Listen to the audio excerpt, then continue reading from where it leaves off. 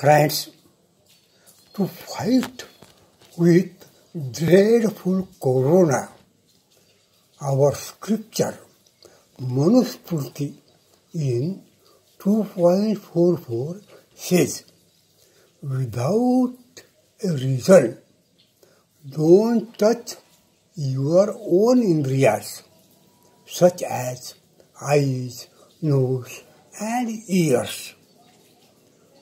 See how good guidance is given by our ancestors to fight with pandemics like corona. Myself, Ramdas Khandagale.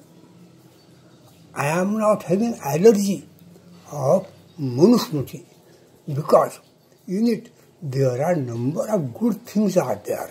Thank you. Kindly subscribe to my YouTube channel.